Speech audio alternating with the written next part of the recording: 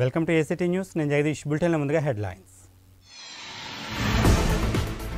ప్రజలకు చేరువయ్యేందుకు విశాఖ పోలీసుల వినూత్న ప్రయత్నం. ఓపెన్ జిమ్లలో వ్యాయామం ప్రజలతో మమేకం.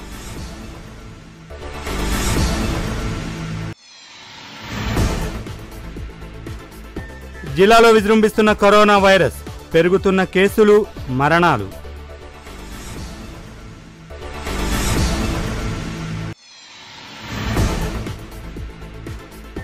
రైల్వే శాఖలో కోవిడ్ కట్టడి చర్యలు కోచ్ల పరిశుభ్రతకై శానిటేషన్ రిమోట్ మిషన్ ఏర్పాటు.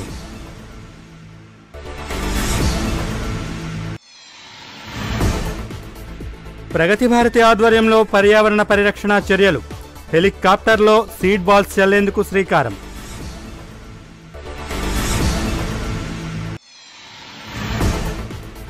ప్రారంభమైన పదకొండో విడత ఉచిత రేషన్ పంపిణీ కార్డుదారులకు సరుకుల సరఫరా.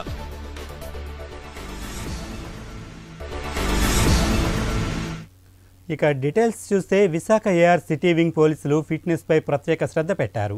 ప్రతిరోజు బీచ్ రోడ్లో ఫిట్నెస్ ఎక్సర్సైజులు చేస్తూ ఫ్రెండ్లీ పోలీస్ విధానాన్ని ప్రజల్లో పెంపొందిస్తున్నారు. ఫిట్నెస్ ఫ్రెండ్లీ నేచర్ను అవలంబించడంతో విశాఖ వాసులకు మరింత చేరువ అవుతున్నారు.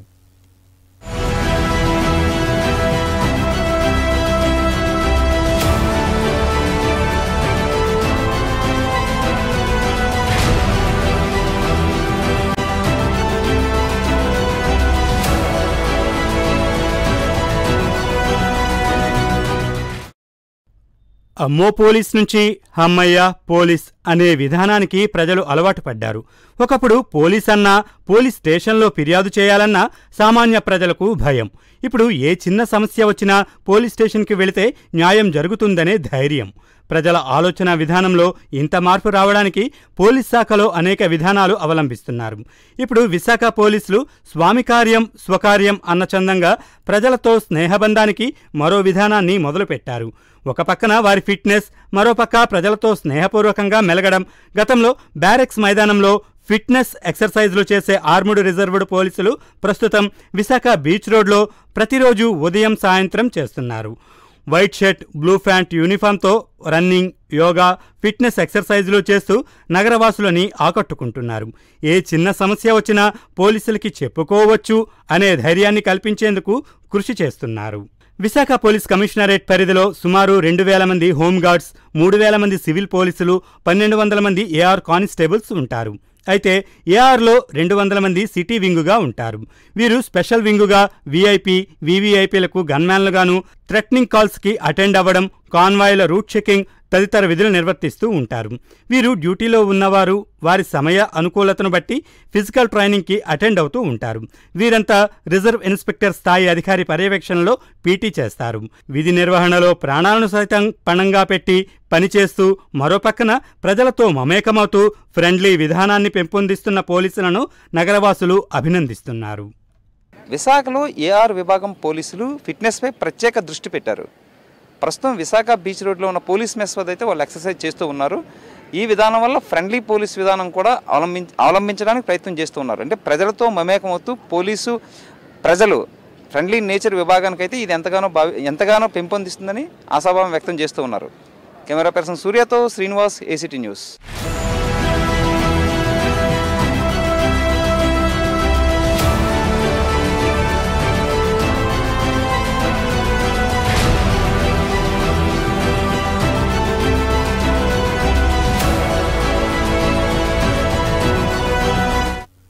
జిల్లాలో కరోనా జోరు కొనసాగుతుంది.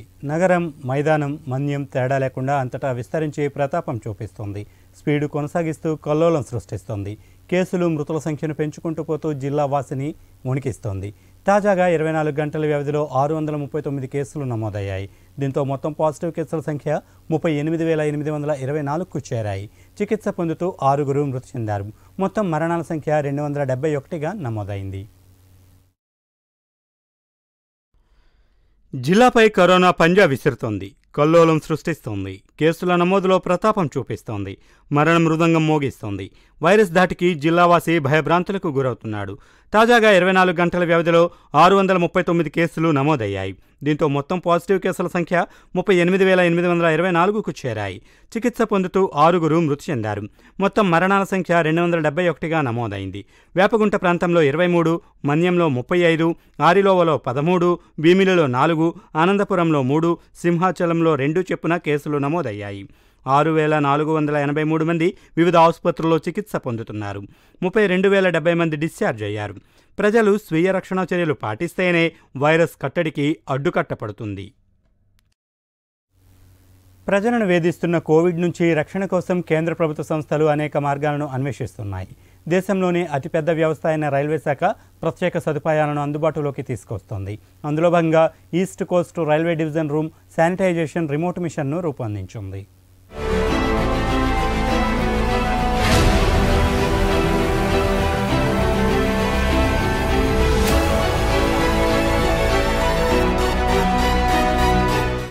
కరోనా విజృంభణ నేపథ్యంలో ఈస్ట్ కోస్ట్ రైల్వే అధికారులు ప్రజల రక్షణార్థం వినూత్న ప్రయోగాలతో ముందుకు సాగుతున్నారు.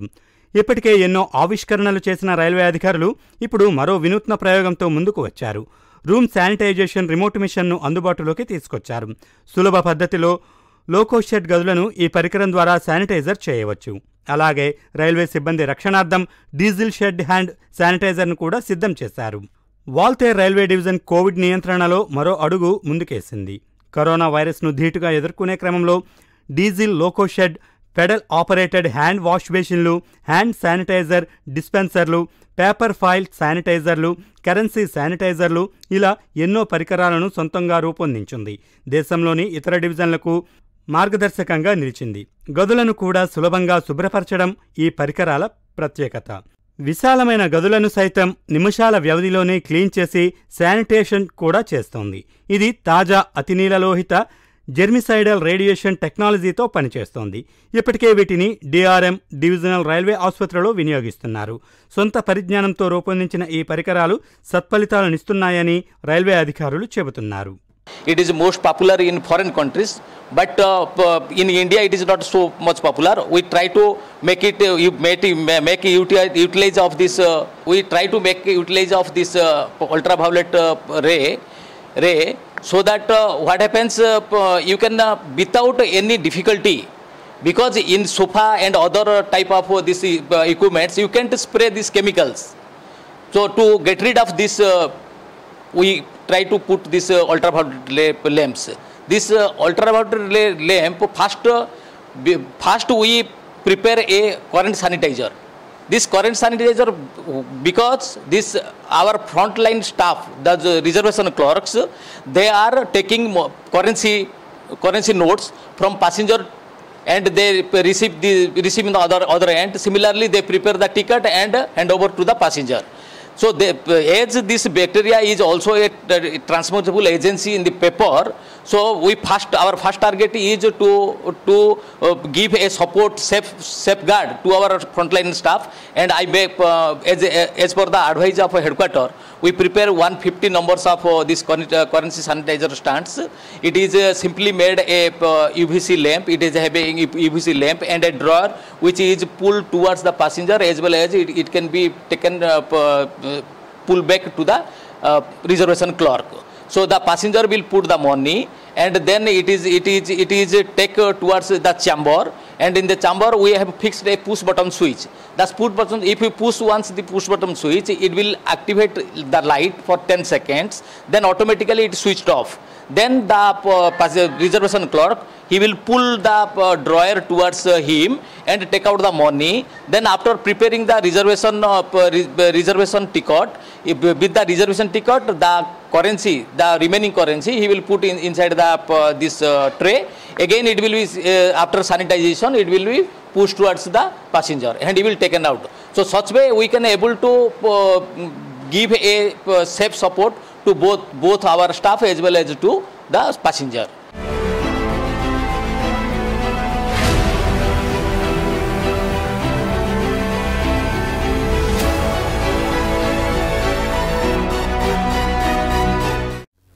Pragati Bharati foundation ఆధ్వర్యంలో మరో బృహత్తర కార్యక్రమానికి శ్రీకారం చుట్టారు.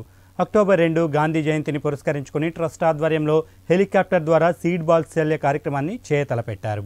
ఈ విషయమై ట్రస్ట్ చైర్మన్ విజయసాయి రెడ్డి మాట్లాడారు. పర్యావరణ పరిరక్షణే ధ్యేయంగా పనిచేస్తున్న ప్రభుత్వానికి తమ వంతు సహకారం అందిస్తున్నట్లు తెలిపారు. జిల్లా వ్యాప్తంగా ఉన్న కొండ ప్రాంతాలపై ఈ విత్తనాలు జల్లే కార్యక్రమం చేపడుతున్నట్లు తెలిపారు. జీవే రామ్మోహన్ రావు మీ దగ్గర సెలవు తీసుకుంటున్నాను. థ్యాంక్ యూ కమిషనర్ గారు మేడం గారు చెప్తున్నారు అక్టోబర్ రెండవ తారీఖున ఒక లక్ష సీడ్ బాల్స్ని అంటే ఒక్కొక్క ఒక్కొక్క సీడ్ బాల్లో మూడు నుంచి నాలుగు చెట్లు వస్తాయి. ఫారెస్ట్రీ ఫారెస్ట్రీని డెవలప్ చేసేటటువంటి అవకాశం ఉంటుంది. వాటిని విశాఖ జిల్లాలో ఉన్నటువంటి పలు ప్రాంతాల్లో కొండలు ఆ గుట్టల్లో అన్నిటిల్లో కూడా అక్టోబర్లో వర్షాలు కూడా ఉంటాయి. ఆ సీడ్ బాల్స్ని ఎయిర్ డ్రాప్ చేసినట్లయితే చాపర్ ద్వారా హెలికాప్టర్ ద్వారా అవన్నీ కూడా వర్షాకాలంలో బతుకుతాయి. మనకు ఆహ్లాదకరమైనటువంటి వాతావరణం ఉంటుంది. ఉష్ణోగ్రతలు తగ్గుతాయి. కాబట్టి ఆ ప్రయత్నం చేద్దాం. రెండో అక్టోబర్ రెండో తారీఖున అని చెప్పి చెప్తున్నారు. దాన్ని తప్పకుండా ప్రగతి భారత్ ఫౌండేషన్ తరఫున మనం టేకప్ చేద్దాం. మంచి కార్యక్రమాలు ఏదైనా కూడా ప్రజలకు ఉపయోగపడేటటువంటి కార్యక్రమాలు ముఖ్యంగా ఉత్తరాంధ్ర ప్రజలకు ఉపయోగపడేటటువంటి కార్యక్రమం ఏదైనా కూడా మనం చేపడదాం. కరోనా ఉధృతి నేపథ్యంలో ప్రభుత్వం బియ్యం కార్డుదారులకు జిల్లాలో ఉచిత రేషన్ పంపిణీని కొనసాగిస్తోంది. అందులో భాగంగా పదకొండో విడత ఉచిత రేషన్ పంపిణీని ప్రారంభించింది. ఈ నెల పదిహేను వరకు ఈ పంపిణీ కొనసాగుతుంది. ఈసారి బియ్యంతో పాటు కిలో కందిపప్పు ఉచితంగా పంపిణీ చేస్తున్నారు. కరోనా నేపథ్యంలో ఉపాధి కోల్పోయి ఆర్థికంగా ఇబ్బందులు పడుతున్న తెల్ల రేషన్ కార్డుదారులకు పది విడతల ఉచిత రేషన్ను అందజేసిన ప్రభుత్వం ఇప్పుడు పదకొండో విడత ఉచిత రేషన్ పంపిణీని ప్రారంభించింది. ఈసారి బియ్యంతో పాటు కిలో కందిపప్పు అందజేస్తోంది. తొలిసారి మార్చి ఇరవై తొమ్మిదిన ఉచిత రేషన్ను ప్రభుత్వం అందజేసింది. కరోనా ఉధృతి నేపథ్యంలో ఆ తరువాత నుండి పదిహేను రోజులకు ఒకసారి చొప్పున ఇప్పటి వరకు పది విడతల ఉచిత రేషన్ను అందించింది. జిల్లాలో రెండు వేల నూట తొంభై మూడు రేషన్ డిపోల ద్వారా పన్నెండు పాయింట్ తొమ్మిది తొమ్మిది లక్షల మంది తెలుపు కార్డుదారులకు ఉచిత రేషన్ను అందజేస్తున్నారు. పదకొండో విడత రేషన్ కింద ప్రభుత్వం పంతొమ్మిది వేల తొంభై ఎనిమిది మెట్రిక్ టన్నుల బియ్యం పన్నెండు వందల ముప్పై మూడు మెట్రిక్ టన్నుల కందిపప్పును జిల్లాకు కేటాయించింది. ఈసారి బియ్యం కందిపప్పును ఉచితంగాను అరకిలో పంచదార పదిహేడు రూపాయలకు అందజేస్తున్నారు. అంత్యోదయ కార్డుదారులకు ముప్పై ఐదు కిలోల బియ్యం కిలో కందిపప్పు ఉచితంగాను అర కేజీ పంచదార పదమూడు రూపాయల యాభై పైసలకు పంపిణీ చేస్తున్నారు. ఇక అన్నపూర్ణ కార్డుదారులకు కార్డుకు పది కిలోల బియ్యం కిలో కందిపప్పు ఉచితంగాను అరకిలో పంచదార పదిహేడు రూపాయలకు అందజేస్తున్నారు. కరోనా వైరస్ నియంత్రణ చర్యలు చేపడుతూ ఈ నెల పదిహేను వరకు డిపోల వద్ద ఉచిత రేషన్ను పంపిణీ చేయనున్నారు. మనం ఇప్పుడు ఎంఈపీ కాలనీ పదిహేడవ వార్డు ఆదర్శ నగర్లో నూట ఎనభై నాలుగు నెంబర్ గల డిపో దగ్గర ఉన్నాం. ఈరోజు మన రాష్ట్ర ముఖ్యమంత్రి వైఎస్ జగన్మోహన్ రెడ్డి గారు పదకొండో విడత ఉచిత రేషన్ పంపిణీ కార్యక్రమం జరుగుతుంది. ఈ కరోనా టైంలో కూడా క్రమం తప్పకుండా ప్రతి నెలకి రెండు సార్లు మూడు సార్లు ఉచిత రేషన్ పంపిణీ కార్యక్రమం జరుగుతుంది. ఏంటంటే ఉత్తరాంధ్ర ప్రజలు ఇబ్బందులు పడకూడదని ఆయన క్రమం తప్పకుండా ఈ ఉచిత రేషన్ కార్యక్రమం పెట్టారు. ఏ ఇబ్బందులు లేకుండా మా డీలర్లు కూడా మనకి సహకరించి అన్ని విధాలుగా అందరికీ అందజేస్తున్నారు. పబ్లిక్ ప్రజలు కూడా చాలా సంతోషంగానే ఈ టైంలో మన జగన్మోహన్ రెడ్డి గారు మనకి ఎంత అండదండలుగా ఆదుకుంటున్నారు. మనకి గతంలో వెయ్యేసి రూపాయలు కార్డుకి లబ్ధిదారులకు ఇవ్వడం జరిగింది. ఇవన్నీ కూడా అన్నీ కూడా చే- జగన్మోహన్ రెడ్డి గారు చేస్తున్న చాలా కార్డు లబ్ధిదారులు కూడా చాలా సంతోషం వ్యక్తం చేస్తున్నారు. ఇక్కడ ఉమ్, డిపోల దగ్గర కూడా నా సామాజిక దూరం పాటిస్తూ కరోనాని దృష్టిలో ఉంచుకొని కూడా డీలర్లు కూడా చెప్తూ అన్ని వాళ్ళు కూడా అన్నీ చూసుకొని చే- చేయడం జరుగుతుంది. మరి జగన్మోహన్ రెడ్డి గారు ఇంత చక్కగా చేస్తున్నందుకు మేము ఆయనకి కృతజ్ఞతలు తెలియజేసుకుంటున్నాం. ఇంకోటి ఏంటంటే క- అన్న యోజన కార్డుదారులకు కూడా ముప్పై ఐదు కేజీల బియ్యం కూడా ఇస్తున్నారు జగన్మోహన్ రెడ్డి గారు. ఇవన్నీ కూడా మేము దృష్టిలో ఉంచుకొని జగన్మోహన్ రెడ్డి గారికి చాలా కృతజ్ఞతలు తెలియజేస్తాం జిల్లా అండి జగన్మోహన్ రెడ్డి గారు ఇవ్వడం బట్టి ఇక్కడ వైజాగ్లో మేము ఉంటున్నాము. అప్పుడు కాంచి ప్రతి నెల మాకు రేషన్ కూడా బాగానే ఇస్తున్నారు. నమస్కారం పెట్టుకుంటూనే ఇక్కడే మేము ఇక్కడే ఉంటున్నాం. బతుకు తీరికి కూడా మేము ఇక్కడికే వచ్చాము మేము. అతని వల్ల మేము బాగానే బతుకుతున్నాం సార్. విజయనగరం జిల్లా అయినా అక్కడ వాళ్ళకి ఇక్కడ ఇవ్వమని కూడా అంటలేదు. రేషన్ డిపో వాళ్ళు కూడా బాగానే ఇస్తున్నారు. వాళ్ళు కూడా మాకు బాగానే సహకరిస్తున్నారు. మా పలానా టైంకి రండి. దూరం పాటించండి అని కూడా చెప్తున్నారు సార్ మాకు. ఎంపీ విజయసాయిరెడ్డి మేనేజింగ్ ట్రస్టీగా వ్యవహరిస్తున్న ప్రగతి భారతి ఫౌండేషన్ ఆధ్వర్యంలో విశాఖలో అనేక సేవా కార్యక్రమాలు నిర్వహించారు. దీనిలో భాగంగా వివేకానంద నగర్ పార్కులో మొక్కలు నాటే కార్యక్రమాన్ని చేపట్టారు. ముఖ్య అతిథులుగా విచ్చేసిన MP Vijayasai Reddy GVMC commissioner doctor G Srujana trust సభ్యులు సీఎంఆర్ వెంకటరమణ ఉమేష్లు మొక్కలు నాటారు. అనంతరం అతిథులు మాట్లాడారు. ఎండడలో ఉన్న ఈ పార్కుని దత్తత తీసుకొని అభివృద్ధి చేయనున్నట్లు తెలిపారు. జీవీఎంసీ తరపున ట్రస్ట్కి సహాయ సహకారాలు అందిస్తామని కమిషనర్ హామీ ఇచ్చారు.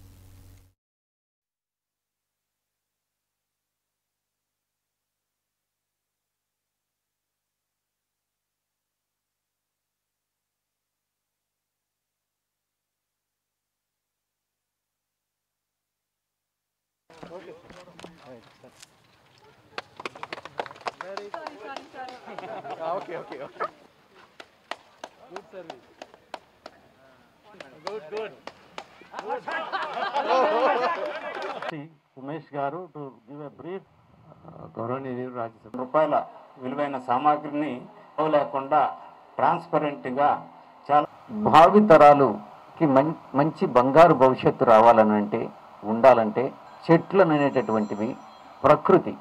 ఈ భూమి పుట్టినప్పుడు ఈ సోలార్ ఫ్యామిలీలో హాఫ్ ఆఫ్ ది లైఫ్ అయిపోయింది. ఇంకా మిగతా హాఫ్ ఆఫ్ ది లైఫ్ మాత్రమే ఉంది. అంటే ఒక ఫైవ్ బిలియన్ ఇయర్స్ కానీ లైఫ్ అని అనుకుంటే సోలార్ ఫ్యామిలీకి ఒక టెన్ టెన్ బిలియన్ ఇయర్స్ అని అనుకుంటే ఒక ఫైవ్ బిలియన్ ఇయర్స్ అయిపోయింది ఆల్రెడీ సహజ వనరుల్ని మనం భావితరాలకు కాపాడుకుంటేనే ఈ యొక్క భూమికి బంగారు భవిష్యత్తు ఉంటుంది. ఇంకా రిమైనింగ్ లైఫ్ ఏదైతే ఉందో ఈ సోలార్ ఫ్యామిలీకి ఇంకా ఫైవ్ బిలియన్ ఇయర్స్ లైఫ్ ఏదైతే ఉందో అంటే సూర్యుడు ఉన్నంత కాలం ఇదంతా కూడా ఉంటుందన్నమాట. మనం అంతా కూడా ఉంటాం. చెట్లు అన్నటువంటివి చాలా ముఖ్యం. ప్రతి ఒక్కరం కూడా రాష్ట్రంలో ఉన్నటువంటి ఐదు కోట్ల మంది ప్రజానీకం ప్రతి ఒక్కరూ ఒక చెట్టు నాటినట్టయితే మన రాష్ట్రాన్ని కాపాడుకోగలం. మన రాష్ట్రమే కాదు భారతదేశం అంతా ప్రపంచం అంతా కూడా ఇది. చెట్ల వల్ల ప్రకృతి అంత ఆహ్లాదకరంగా ఉంటుంది అన్నటువంటిది. మనం అందరం కూడా దానికోసం కృషి చేయాలి. అది భావితరాలకు ఉపయోగపడేలాగా కార్యక్రమం చేస్తాము అని ఫ్యూచర్ గురించి ఆలోచించే మంచి ఉద్దేశంతో చేపడుతున్నాము. ఇదే ఆర్గనైజేషన్ ఆధ్వర్యంలో మనం మియావాకి మొదటిసారిగా సిటీలో మియావాకి ప్లాంటేషన్ తీసుకున్నాము. ప్రతి దగ్గర ఒక మియావాకి ఉండాలి. ఒక అర్బన్ ఫారెస్ట్ డెవలప్ చేసి ఏ ప్రకృతితో అయితే మనం కొంతకాలంగా సంబంధాన్ని కోల్పోయామో దాన్ని మళ్ళీ పొందడం కోసం మళ్ళీ మన పిల్లలకి మన భావితరాలకి ఆ పక్షులు మొక్కలు వాటన్నిటితో పరిచయం ఇంటాక్ట్గా ఉండాలి. అది ఒక ఆర్గానిక్ లింక్గా మనం ముందుకెళ్ళాలి అనే ఒక మంచి ఉద్దేశంతో ఈ- ఫౌండేషన్ నడుస్తోంది. ఇలాంటి ఇంకా మంచి కార్యక్రమాలు తీసుకెళ్ళడం మీకు అందరికీ తెలుసు కరోనా సందర్భంగా ఇదే ఫౌండేషన్ ద్వారా మా శానిటేషన్ వర్కర్లు అందరికీ కూడా కొంచెం స్వాంతన కలిగే విధంగా కిట్స్ పంచడం జరిగింది.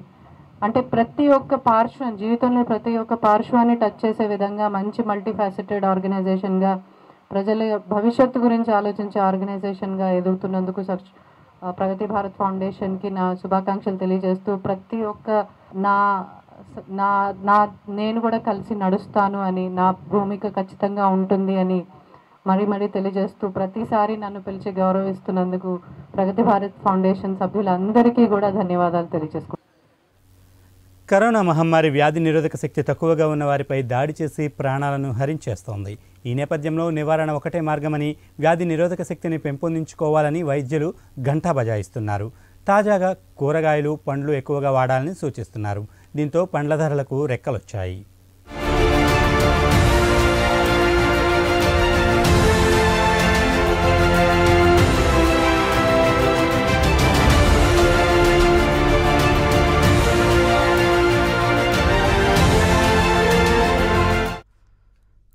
కరోనా విజృంభిస్తున్న వేళ పండ్ల ధరలకు రెక్కలొచ్చాయి. పండ్లు తింటే వ్యాధి నిరోధక శక్తి పెరుగుతుందనే ప్రచారంతో పండ్ల ధరలు ఒక్కసారిగా పెరిగిపోయాయి. కరోనా వైరస్ను తట్టుకొని ఆరోగ్యంగా ఉండాలంటే పండ్లు తినాలని న్యూట్రిషియన్ వైద్యులతో పాటు వైద్య నిపుణులంతా చెబుతుండడంతో పండ్ల వినియోగంపై ప్రజలు శ్రద్ధ కనబరుస్తున్నారు. దీన్ని వ్యాపారులు చక్కగా వినియోగించుకొని సొమ్ము చేసుకుంటున్నారు. సాధారణ రోజుల కన్నా పండ్ల ధరలు ఎక్కువగా ఉండడంతో వినియోగదారులు అసంతృప్తి వ్యక్తం చేస్తున్నారు. బత్తాయి కమలాలు బొప్పాయి నిమ్మ దానిమ్మ యాపిల్ పండ్లలో వ్యాధి నిరోధక శక్తిని పెంచే విటమిన్లు ఎక్కువగా ఉంటాయి. కరోనాను జయించాలంటే ముందుగా శరీరంలో వ్యాధి నిరోధక శక్తిని పెంచుకోవాలి. ఈ శక్తి పండ్లకు మాత్రమే ఉందని ఎక్కువగా వాడాలని వైద్యులు సూచిస్తున్నారు. అందువల్ల ఎక్కువగా పండ్లు వాడేందుకు ప్రజలు ఆసక్తి కనబరుస్తున్నారు. దీన్ని ఆసరాగా తీసుకుని వ్యాపారులు అధిక ధరలకు విక్రయించి సొమ్ము చేసుకుంటున్నారు. ఇప్పుడు ఈ కరోనా ఉండడం వల్ల చాలా మంది ఇమ్యూనిటీ పవర్ లేక చాలా మంది కరోనా బారిన పడుతూ ఉన్నాము. కానీ కరోనా నుండి మనం ఎదుర్కొనాలంటే ముఖ్యంగా ఇమ్యూనిటీ పవర్ ఉండాలని డాక్టర్లు అందరూ చెప్తున్నారు. కానీ పళ్ళు తిని మనము ఇమ్యూనిటీ పవర్ పెంచుకుందామంటే ఆ పళ్ళు కొనడానికి కూడా హై రేట్లో ఉన్నాయి. అవి మా సామాన్య ప్రజలు మాలాంటి మిడిల్ క్లాస్ వాళ్ళు మేము ఎవరిని కొనుక్కోలేకపోతున్నాము అది అది ప్రభుత్వం దృష్టి పెట్టి వాటిలో రేట్లు తగ్గిస్తే మాలాంటి వాళ్ళం మేము కొనుక్కోగలము. అవి చాలా రేట్లలో ఉన్నాయి ఇదివరకు వంద రూపాయలు అంటే ఒక వారం వరకు తినేవాళ్ళమే. ఇప్పుడు వంద రూపాయలు ఒక అర నిమిషంలో కూడా ఉండడం లేదా. అంత హై రేట్లో ఉన్నాయి. ఒక వంద రూపాయలు పెడితే ఒక రెండు పళ్ళు వస్తున్నాయి. కాబట్టి మీరు దీన్ని దృష్టిలో పెట్టుకొని ప్రభుత్వం ఏదైనా దాన్ని రేట్లు తగ్గించి మాలాంటి సామాన్యులకి అందుబాటులో ఉండేటట్టు చేస్తారని మేము కోరుకుంటున్నాం.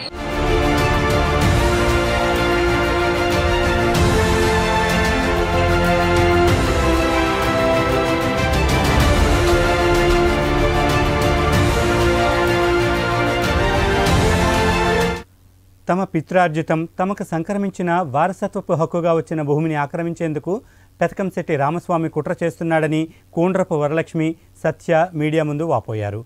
దొంగ కాగితాలు సృష్టించి అధికారుల సంతకాలు ఫోర్జరీ చేసి కోర్టులను కూడా తప్పుదారి పట్టిస్తున్న క్రిమినల్పై చర్యలు తీసుకోవాలని ప్రభుత్వానికి విన్నవించారు. గతంలో రైల్వే భూములు కబ్జా చేయబోయి జైలుకు వెళ్ళిన నేర చరిత్ర ఉన్న వ్యక్తి రామస్వామి అని తెలిపారు. అచ్యుతాపురం మండలం భోగాపురం దుప్పతూరు గ్రామాల రెవెన్యూ పరిధిలో ఉన్న కోట్లు విలువ చేసే సుమారు ముప్పై రెండు ఎకరాల భూమి విషయమై జిల్లాలో హాట్ టాపిక్గా మారింది. ఇరు పార్టీలు వారు ఈ భూమి తమది అంటే తమది అంటూ మీడియా ముందు తెలియజేశారు. నా పేరు సత్య అండి. మాది భోగాపురం గ్రామం అచ్యుతాపురం మండలం విశాఖపట్నం జిల్లా. మాకు ముప్పై రెండున్నర ఎకరాల ల్యాండ్ భోగాపురం దుప్తూరు రెవెన్యూలో ఉన్నదండి. మేము పంతొమ్మిది వందల తొంభై మూడులో ఈ ల్యాండ్ కొనుక్కున్నామండి కోండ్రపు కొండ దగ్గర నుంచి. రీసెంట్ చేయకపోతే మేము కోర్టుకి వెళ్ళామండి కోర్టులో రెండు వేల ఒకటిలో మాకు కోర్టు అనుకూలంగా తీర్పిచ్చున్నదండి. తీర్పిచ్చిన ఉన్నదండి తర్వాత కోండ్రపు కొండడు మాకు రెండు వేల నాలుగులో కిరిచిటి చేశాడండి. నా- ఆయన తప్పు తెలుసుకొని శ్రేయభిలాషుల కోరిక మేరకు మాకు వచ్చి మాకు రిజిస్ట్రేషన్ చేశాడండి. పిఆర్ఎస్ నాయుడు అన్న వ్యక్తి జీపీ రాయించుకున్నాడండి రెండు వేలలోను రాయించుకొని ఆ జీపీ మూలంగా ఇంకొక పన్నెండు మందికి అమ్మేసి కోర్టులో హక్కులు నిర్ధారించండి అని చెప్పేసి ఆయన సెకండ్ ఏడీజీ కోర్టులో వేసుకున్నాడు కేసు పెండింగ్ ఉందండి ఇక్కడ. అలాగే హైకోర్టులో రివ్యూ పెండింగ్ ఉన్నదండి. ఈ రెండు కేసులు పెండింగ్ ఉంటుండగా రెవెన్యూ వాళ్ళని ప్రలోభపరిచి స్థానిక ఎమ్మెల్యే కనబాబరాజుని అన్నదండలు చూసుకొని ఆయనతో రెవెన్యూ అధికారులకు ఒత్తిడి తెప్పించి ఈ భూమిని పాస్ పుస్తకాలు చేయించుకున్నాడండి ఆయన పేరు మీద రెవెన్యూ ద్వారా. ఈ భూమి హక్కులన్నీ మాకే ఉన్నాయని చెప్పి మళ్ళీ ప్రెస్ మీట్ పెట్టి మమ్మల్ని అప్రతిష్టపాలు చేస్తున్నాడండి పిఆర్ఎస్ నాయుడు. రైల్వేకి సంబంధించిన కొన్ని భూములు అక్రమంగా కబ్జా చేసి దానిపైన సిబిఐ ఎంక్వైరీ అయ్యిగా అరెస్ట్ చేసి జైలు కూడా పంపించి ఉన్నారండి ఈయన డిస్ప్యూట్ ఎవరైతే ఎవరి దగ్గర అయితే డిస్ప్యూట్ ఉందో వాళ్ళ దగ్గర భూములు కొ- పక్క ఒక పక్క కొమ్ము గాయడం ఇద్దరిని గొడవలు చేపించి ప్రేరేపించడం భూ సెటిల్మెంట్లు చేసి లబ్ధి పొందుతూ ఉంటాడండి ఈయన. నా పేరు వరలక్ష్మి. నేను పైల వెంకటస్వామి బాబు వారసురాలనైనటువంటి నేను ఇలాగా ముప్పై ఒకటి ఎనిమిది రెండు వేల ఇరవైన పెతకంశెట్టి రామస్వామి నాయుడు మీడియా ముఖంగా ఏవైతే మీకు అబద్ధ అబద్ధ అబద్ధపు ప్రచారాలు చేశారో దానికి ఖండన ఇవ్వడానికి మేము ఇప్పుడు ఈ మీడియా ముందుకు రావడం జరిగింది. అయితే మేము అతను ఏవైతే అబద్ధ ప్రచారాలు చేశారో అందులో కోండ్ర కొండడు ద్వారాగా దగలపడిన భూమిని మేము మా స్వాధీనము హక్కు హక్కుగా మేము స్వాధీనంలో ఉన్నామండి. అయితే దానిలో భోగాపురము దుప్పతూరు రెవెన్యూకి సంబంధించిన ముప్పై రెండు ఎకరాల భూమిలో కూడా మేమే సాగులో ఉన్నాము. అయితే అతను సమ్ అతను అసలు ఎవరన్నది అతను మీ- మధ్య అతను ఎవరన్నది అసలు సంబంధం లేని విషయం అండి. ఇతనికి ఇప్పుడు సేల్ డీడీ చేసిన తర్వాత ఇతనికి సంబంధం లేని విషయం అండి. అయినప్పటికీ ముప్పై ఒకటో తారీఖున ప్రెస్ మీట్ పెట్టి ఆ ప్రెస్ మీట్లో మమ్మల్ని మా కుటుంబాన్ని అగౌరవపరిచి అప్రతిష్టపాలు చేయడం జరిగింది. ఏ అధికారంతో ఏ అర్హతతో ఇప్పుడు అతను అతను అతను సంబంధించిన ల్యాండ్ కానీ అతను ఆవిడ ఆవిడ వాళ్ళ ఆవిడ వాళ్ళ భార్య ఎవరైతే ఉన్నారో పెతకంశెట్టి నాగసూర్యమని పేరు మీద ఉన్నటువంటి సుమారుగా ఇద్దరు పేరు మీద ఉన్న సుమారు తొమ్మిది ఎకరాల భూమిని కూడా నవరత్న ఎస్టేట్ వాళ్ళకి సేల్ డీడీ చేయడం చేసిన తర్వాత కూడా అతనికి ఏ అర్హతతో ప్రెస్ మీట్ పెట్టి మా మీద అసత్య ఆరోపణలు చే చేస్తున్నారో ఒకవేళ గ్రౌండ్ వర్క్ చేసి విచారణ చేయ- చేయవలసిందిగా మేము ఉన్నతాధికారులని కూడా మేము కోరుకుంటున్నామండి. అలాగే మా కలెక్టర్ గారు కూడా మాకు న్యాయం చేస్తారని మీడియా ముఖంగా మేము చే- సవినీయంగా ప్రార్థించుకుంటాం సుధాపురం మండలం దుప్పుతూరు భోగాపురం గ్రామంలోను నేను రెండు డాక్యుమెంట్లు పదిహేను ముప్పై మూడు బై రెండు వేలు పదిహేను ముప్పై నాలుగు బై రెండు వేలలోను మొత్తం ముప్పై రెండు ఎకరాల డెబ్బై ఎనిమిదిన్నర సెంట్లు భూమి నేను రిజిస్ట్రేషన్ చేసుకోవడం జరిగింది. కోండపు కొండడు మొత్తం వాళ్ళ కుటుంబ సభ్యులు అందరి దగ్గర నుంచి కూడా నేను రిజిస్ట్రేషన్ చేసుకోవడం జరిగింది. కోండపు కొండడు వాళ్ళ తండ్రి నరసింహనాయుడు ఇద్దరికి ఆస్తి పంపకాలు దావా వేసుకున్నారు. Two nought one of nineteen seventy one. అది అంశుగా తీసుకొని ఈ ఇప్పుడు ఎవరైతే ఈ భూమిని కబ్జా చేసి అనేక రకాల ఇబ్బందులు పెట్టి ఈ క్రిమినల్స్ అందరూ కూడా ప్ర- తప్పుతో పట్టిస్తూ తప్పుడు ప్రచారం చేస్తూ ఎవరైతే ఉన్నారో ఈ పైలా వెంకటస్వామి ఎల్ఎస్ బాబు పైలా నరసింహనాయుడు మరి కోనపు రామస్వామి వాళ్ళ కుటుంబ సభ్యులు ఈ మొత్తం ఈ కొటారి అంతా కూడా సూట్లో పార్టీషన్ సూట్లను వీళ్ళేమో కౌలుదారులుగా మరి ఆ దత్తత కొడుక ఈ పైల వెంకటేశ్వర బాబు అన్నీని ఒక రిజిస్టర్డ్ మేజర్ అయిన తర్వాత పద్దెనిమిది సంవత్సరాలు అయిన తర్వాత రిజిస్టర్డ్ డీడ్ తోటి ఆ సూట్లో ఇంప్లీడ్ అయ్యి దాన్ని సుప్రీంకోర్టు దాకా వాళ్ళు ఫైట్ చేశారు. నేను రేపేమో పది రోజుల్లో నేనేమో ల్యాండ్ కాంపౌండ్ వాళ్ళు కట్టి నేను నా భూమి నేను సంరక్షించుకోవడం కోసం సీసీ కెమెరా కూడా పెడుతున్నాను.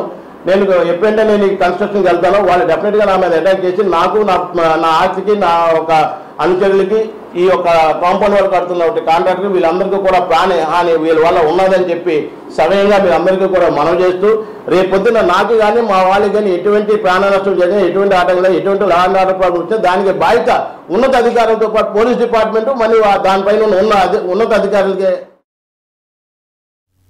సింహగిరికి వచ్చే భక్తులందరికీ ఎలాంటి ఇబ్బంది లేకుండా స్వామివారి దర్శన భాగ్యం కల్పించేందుకు అధిక ప్రాధాన్యతనిస్తామని నూతన ఇన్ఛార్జ్ ఈవో వి. త్రినాథరావు తెలిపారు. ఇక్కడి నుండి బదిలీపై వెళ్ళిన డి. భ్రమరాంబ నుండి బాధ్యతలు స్వీకరించిన ఆయన మీడియాతో మాట్లాడారు. వరాహ లక్ష్మీ నరసింహస్వామి దేవస్థానం ఈవోగా బాధ్యతలు స్వీకరించడం తన పూర్వజన్మ సుకృతంగా భావిస్తున్నానని అన్నారు. దేవాలయ ఆస్తుల పరిరక్షణకు పటిష్టమైన చర్యలు తీసుకుంటానని తెలిపారు. త్వరలోనే కేంద్ర ప్రభుత్వ ప్రసాద్ పథకం నిధులతో భక్తులకు మెరుగైన సదుపాయాలు కల్పిస్తానని చెప్పారు. అన్నవరం దేవస్థానంలో పనిచేసిన అనుభవంతో సింహాచల దేవస్థానం అభివృద్ధికి చిత్తశుద్ధితో కృషి చేస్తానని తెలిపారు. నేను ఈవినింగ్ పూర్తి అదనపు బాధ్యతలు శ్రీమతి పి. బ్రహ్మరామ గారి దగ్గర నేను ఛార్జ్ తీసుకోవడం జరిగింది. ఈ దేవాలయంలో ఎగ్జిక్యూటివ్ ఆఫీసర్గా బాధ్యతలు తీసుకోవడం అన్నది పూర్వజన సుకృతంగా భావిస్తున్నాం. ఈ దేవాలయం దర్శనానికి వచ్చే ప్రతి భక్తుడికి ఒక మంచి వాతావరణంలో స్వామివారి దర్శనం జరిగే విధంగా చర్యలు తీసుకోవడం జరుగుతుంది. అలాగే ఇక్కడ ముఖ్యంగా ఈ దేవాలయానికి ల్యాండెడ్ ప్రాపర్టీ ఎక్కువగా ఉంది. ఆస్తుల పరిరక్షణకి ప్రతిష్టమైన చర్యలు తీసుకోవడం జరుగుతుంది. అలాగే ఈ దేవాలయానికి ఒక పది పదిహేను రోజుల క్రితం సెంట్రల్ గవర్నమెంట్ నుంచి ప్రసాద స్కీమ్ అన్నది కూడా శాంక్షన్ అయిన విషయం మీ అందరికీ తెలిసిందే. ఆ వర్క్స్ కూడా త్వరలో స్టార్ట్ చేసి పిలిగ్రిమ్స్కి కావాల్సిన ఇమ్యూనిటీస్ అన్నీ ఏర్పాటు చేయడం జరుగుతుందని. అలాగే నగర వ్యాప్తంగా దివంగత మహానేత వైఎస్ఆర్ పదకొండవ వర్ధంతి ఘనంగా జరిగాయి. దానిలో భాగంగా ముప్పై తొమ్మిదవ వార్డు లక్ష్మీ టాకీస్ వద్ద వైఎస్ఆర్ పార్టీ కార్పొరేటర్ అభ్యర్థి కొల్లి సింహాచలం ఆధ్వర్యంలో దివంగత మహానేత వైఎస్ రాజశేఖర రెడ్డి విగ్రహానికి పూలమాలలు వేసి ఘనంగా నివాళులు అర్పించారు.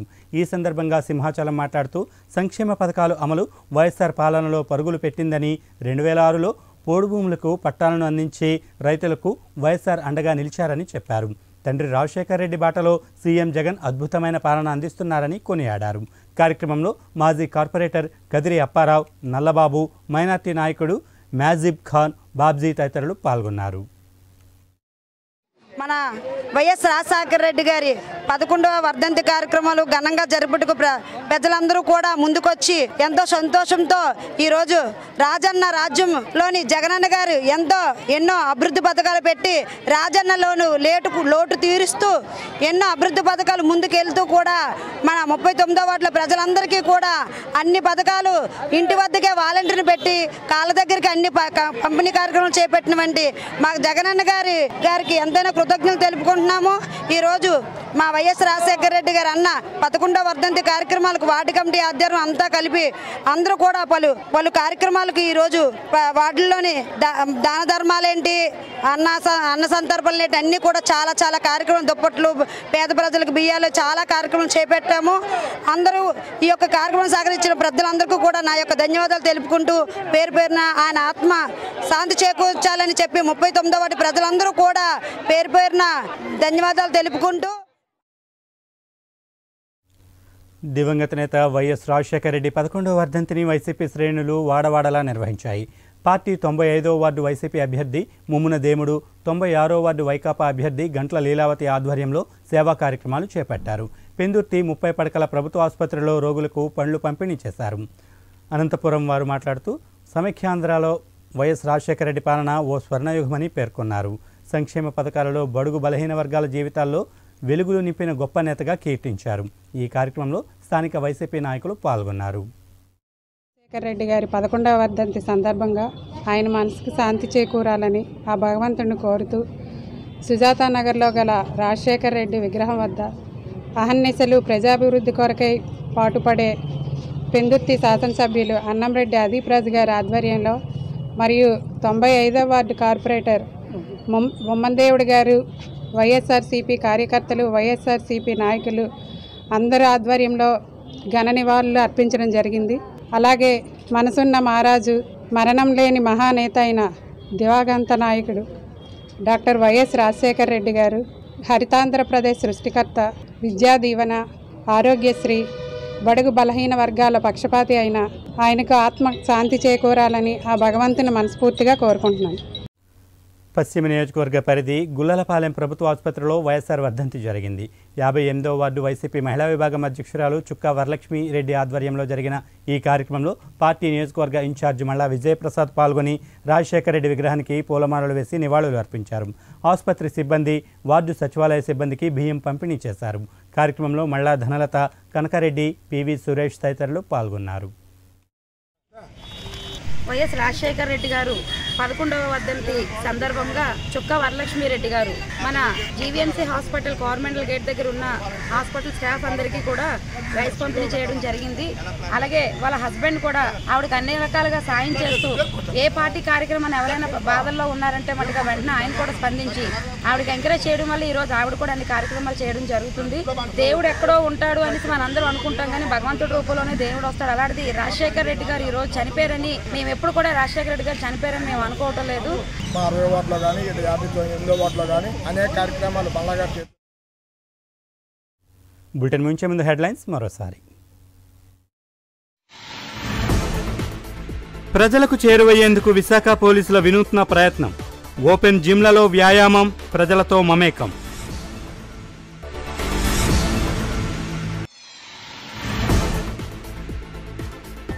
జిల్లాలో విజృంభిస్తున్న కరోనా వైరస్. పెరుగుతున్న కేసులు మరణాలు.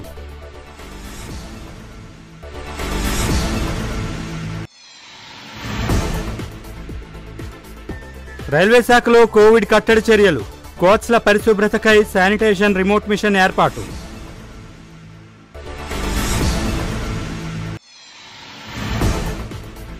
ప్రగతి భారతి ఆధ్వర్యంలో పర్యావరణ పరిరక్షణ చర్యలు. హెలికాప్టర్లో సీడ్ బాల్స్ చల్లేందుకు శ్రీకారం.